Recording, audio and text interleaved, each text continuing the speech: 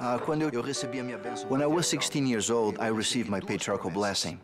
There, the patriarch gave me two promises, one of them that I would put together the genealogy of my family, and the second one that because of that, I would be called a savior on Mount Zion.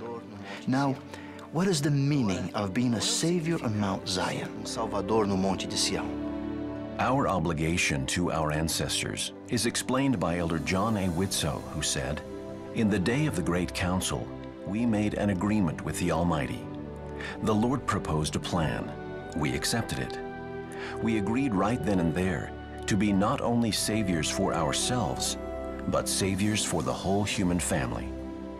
The least of us, the humblest, is in partnership with the Almighty in achieving the purpose of the eternal plan of salvation.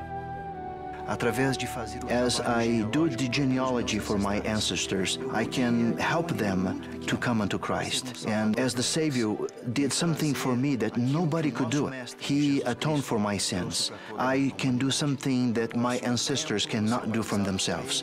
I can go to the temple and bring them unto Christ. And by doing this, I fulfill the promise that I'll be a Savior on Mount Zion, no Monte de Sião. Many of your deceased ancestors will have received a testimony that the message of the missionaries is true. The ordinances you so cherish are only offered in this world. Someone in this world must go to a holy temple and accept the covenants on behalf of the person in the spirit world.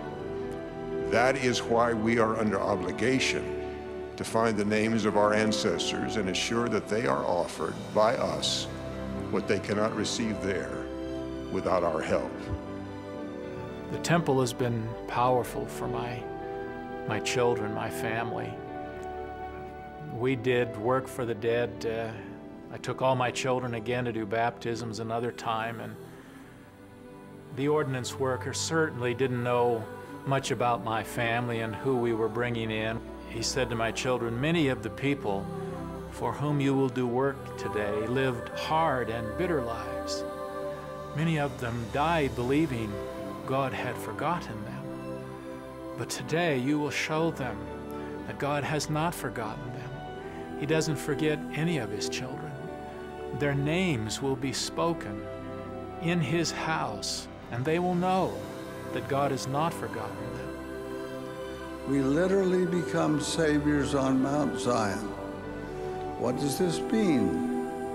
Just as our Redeemer gave his life as a vicarious sacrifice for all men, and in so doing became our Savior.